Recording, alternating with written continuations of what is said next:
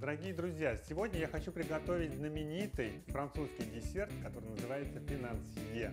Готовится он элементарно, а поможет мне миксер от шефа. Смотрите за мной и повторяйте, рецепт очень простой.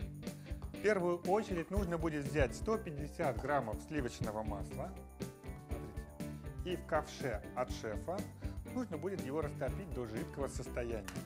Французы, когда готовят финансье, и иногда это сливочное масло сжигают. То есть ставят на плиту, масло закипает, и потом оно сгорает. Только после этого они сливают только верхний вот этот золотой слой сливочного масла. Я не буду усложнять жизнь, мы просто его растопим. Пока растапливается сливочное масло, мне нужно будет измельчить орехи. Вы можете взять фундук, миндаль, грецкий орех. Но классический рецепт – это, конечно же, очищенный бланшированный миндаль. Я воспользуюсь миндальными лепестками. Посмотрите, если, допустим, у вас их нет, возьмите миндаль, опустите в термосервирователь, залейте кипятком, на несколько минут оставьте, и потом кожицу быстро снимите. И все это при помощи турбомикса измельчаете в миндальную муку.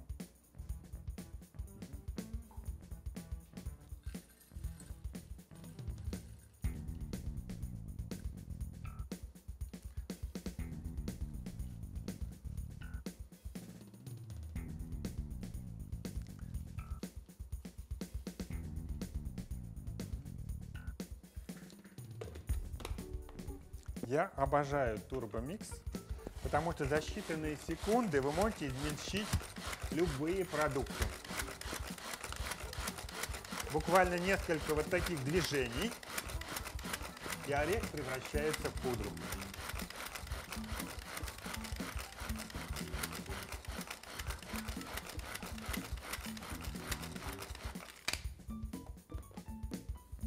Смотрите, какая получается легкая и воздушная ореховая мука. При взбивании она насыщается кислородом и становится вот такая воздушная. Потом сюда я просеиваю 45 граммов муки. Когда просеяли муку, ее сразу же нужно будет перемешать миндальной мукой, чтобы не было комочков. Все это перемешиваем силиконовым скребком. Это лучший помощник на вашей кухне, когда вы готовите. Он очень гибкий, послушный, не царапает посуду, посмотрите, не боится высоких температур. Поэтому всегда держите возле себя скребок. Итак, перемешали. Потом для этого рецепта понадобится 140 граммов сахарной пудры. Сахарную пудру нужно будет тоже просеять, но сначала мы берем половину, то есть 70 граммов. Тоже перемешиваем. Обратите внимание, как просто готовится выпечка. Я стараюсь подбирать рецепты несложные, чтобы вы не боялись, чтобы у вас всегда все получалось. Такая получается, посмотрите, ореховая сладкая мука. Видите? Как я уже говорил, может быть фундук. Грецкий орех, конечно, он жирноват, но вот фундук, кишью, миндаль, то, что надо. А сейчас я взобью 4 белка. И здесь мне поможет миксер от шефа. Когда вы используете яичный белок, он должен быть хорошо охлажден. То есть достаем его из холодильника. Чтобы он взбивался еще лучше, я всегда добавляю щепотку соли или немножко лимонного сока. Можете добавить также и уксус, но только пол чайной ложки. Итак, посмотрите, при помощи миксера от шефа белок взбивается за считанные секунды.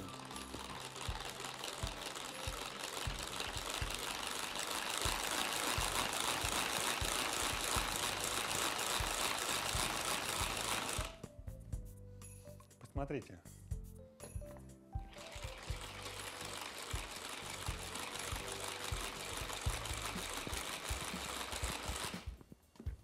Как только белок начинает держать форму, посмотрите, добавляем оставшуюся сахарную пудру. Если вы сахарную пудру сразу высыпите в белок, то этот белок может не взбиться. Поэтому сначала взбиваем пышную пену, только потом добавляем оставшуюся сахарную пудру. И взбиваем.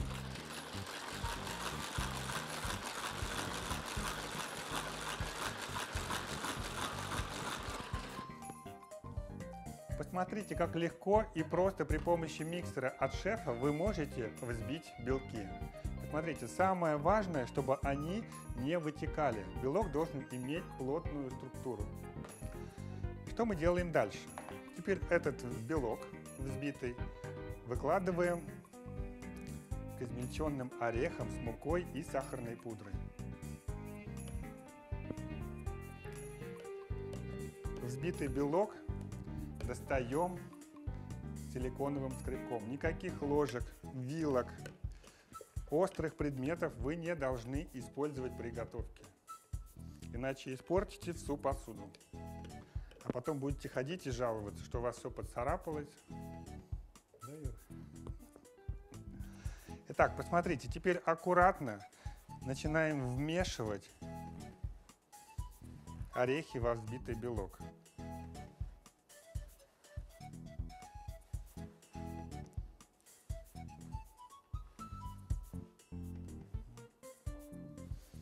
аккуратно снизу вверх вмешиваем и постепенно вливаем растопленное сливочное масло.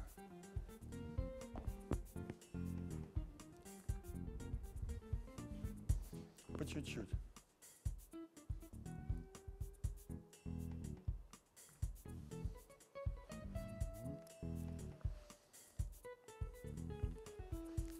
Вот такой получается масляный ореховый бисквит а по-французски это финансия.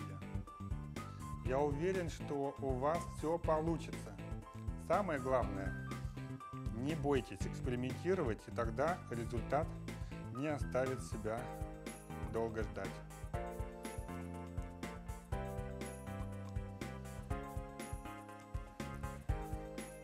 Вот такое получается нежное и воздушное тесто за счет того, что мы добавили сюда не яйца, а взбитые белки. Смотрите, миндаль измельчился легкий. И в самую последнюю очередь я добавляю сюда измельченные писташки. Но я их не буду измельчать так мелко, как миндаль. Слегка.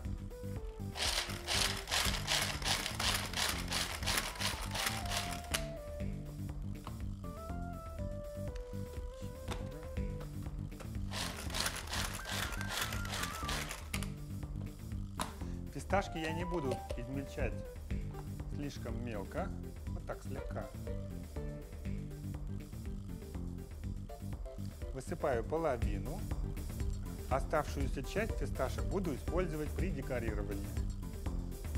Перемешиваю. И готовое тесто должно немного постоять. Готовое тесто нужно будет охладить в холодильнике. Посмотрите, выкладываем все это в миксер от шефа. Видите, вы в нем можете не только взбивать, но и охлаждать в холодильнике. Также все это хранить. И занимает не много места. Скребком зачищаем. Смотрите, как идеально, чисто силиконовый скребок все зачищает. Стенки прозрачные, виден объем. Закрываем все герметично крышкой и убираем примерно где-то минут на 30 в холодильник.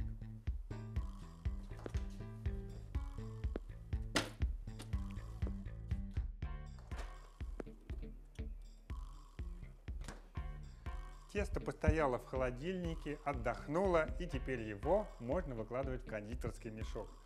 Обратите внимание, на новый кондитерский мешок. Он большой. Вы можете отсаживать и эклеры, смотрите, и профитроли. Можете также украшать разные торты при помощи зубчатых насадок. Насадок здесь много, и они все разные. Можете писать надписи на тортах. Я воспользуюсь самой большой крупной насадкой. выворачиваю кондитерский мешок для того, чтобы тесто проникало вовнутрь, а не на руки. Вот здесь обязательно нужно будет закрыть, видите, при помощи пальца, чтобы тесто также не вытекало. И сейчас начинаю накладывать тесто.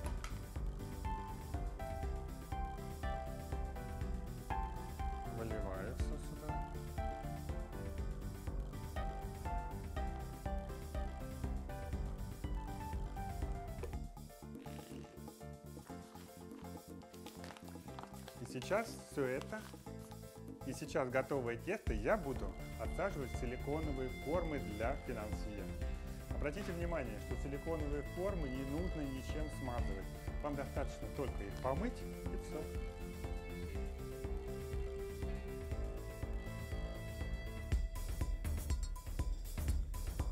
Тесто отсаживаем на три четверти формы.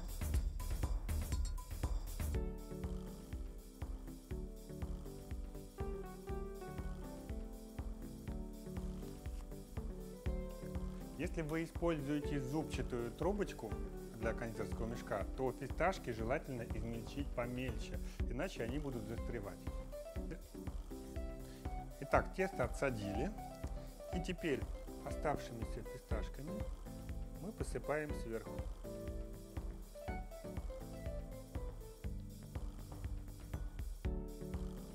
Эти финансье вы можете украсить сухофруктами, орехами, можете положить свежие ягоды, допустим, клюкву, малину, смородину, чернику. Сверху прям кладете и запекаете.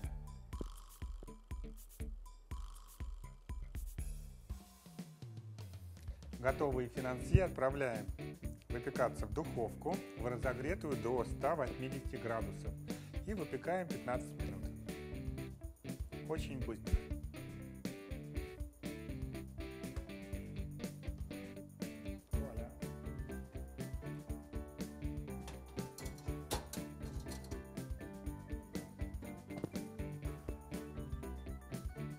Время выпекания 15 минут. Готовые теплые финансье принято подавать с холодным мороженым или сорбетом, либо жареными фруктами или ягодами. Я буду сейчас готовить ананас. Вначале его нужно будет почистить и нарезать на мелкие ломтики.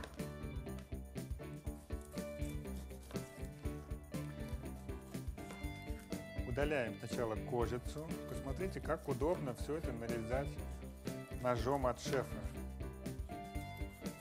Идеально.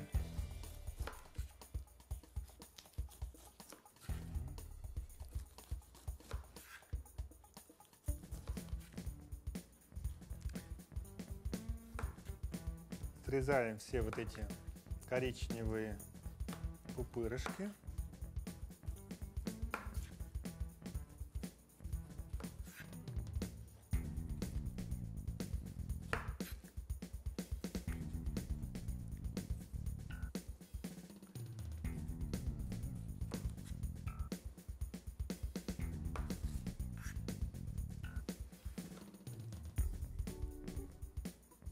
Вначале я всегда нарезаю пополам, еще пополам. Сердцевину удаляем. Если вы, допустим, худеете, то эту кочерышку вы не выбрасываете, вы просто ее грызете. Отложите в сторону, в течение дня ходите и грызите. Я вас уверяю, вот эти кочерышки вы не выбрасываете, сложите их в холодильник, и в течение дня вы можете их грызть. Могу сказать, что если в день вы хотя бы одну кочерышку будете съедать, я вас уверяю, вы по одному килограмму быстро будете скидывать. Так что все идет в дело. Смотрите, каждую четвертинку нарезаем на трое. Каждую четвертинку вы нарезаете на три дольки и потом уже режете ломтики.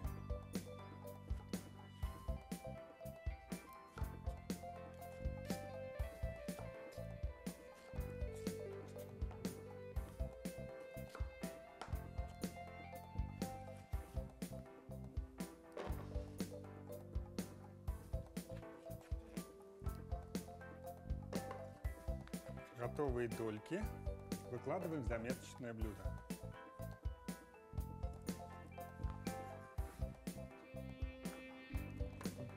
Финансье готовы.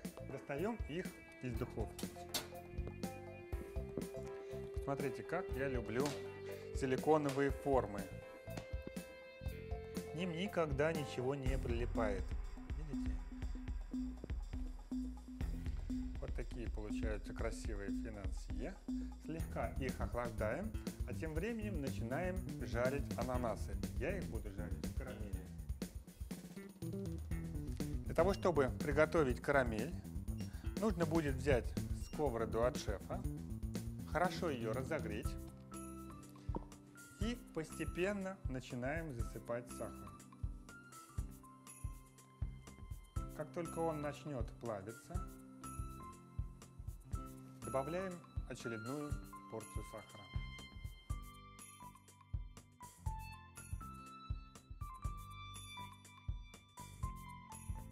Если сахар закипит, то карамель будет горчить. Поэтому старайтесь, чтобы этого не произошло. При помощи силиконового скребка нужно будет вмешивать сахар в карамель.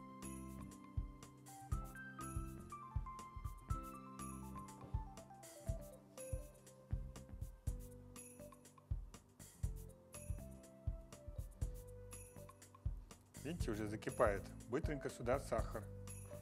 И перемешиваем.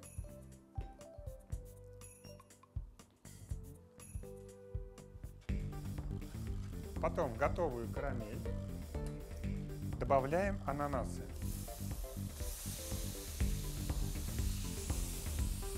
Все это обжариваем.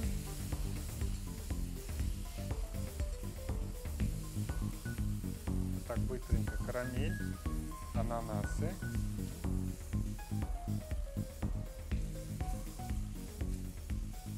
Слишком долго не жарьте, иначе ананасы могут потерять форму.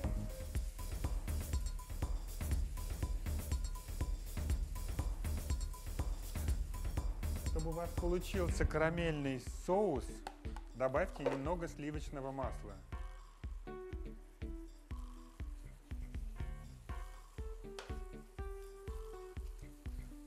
Процессе жарки. И соус у вас тогда слегка загустеет и не застынет. Если, допустим, у вас нет свежих ананасов, вы можете использовать бананы, яблоки, грушу, все, что хотите. Если нет свежих, возьмите консервированные. Или этого не надо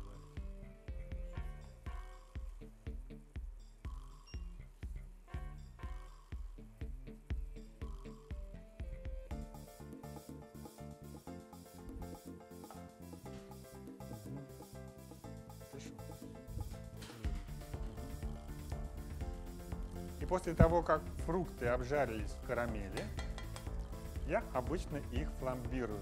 Что это значит? Берем коньяк или ром, или любой вкусный алкоголь, это может быть контро, добавляем в конце жарки и лишний спирт выпариваем. Оп. Смотрите, спирт улетучивается, сгорает, и остается только аромат. Все, ананасы готовы, снимаем с огня. Готовые финансье перед подачей обязательно посыпьте сахарной пудрой, слегка.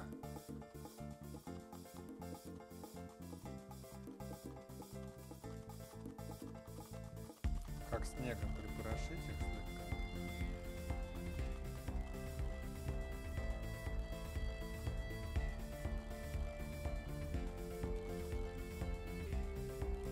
Можете подавать их и на завтрак, и на обед, и на ужин в качестве десерта.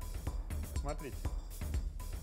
Смотрите, как удобно. Вы можете заранее напечь их, убрать в герметичные емкости и там их хранить.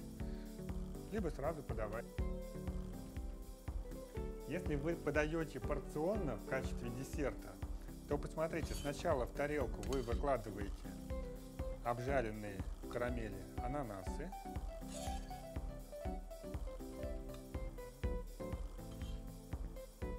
Заливаем все это соусом.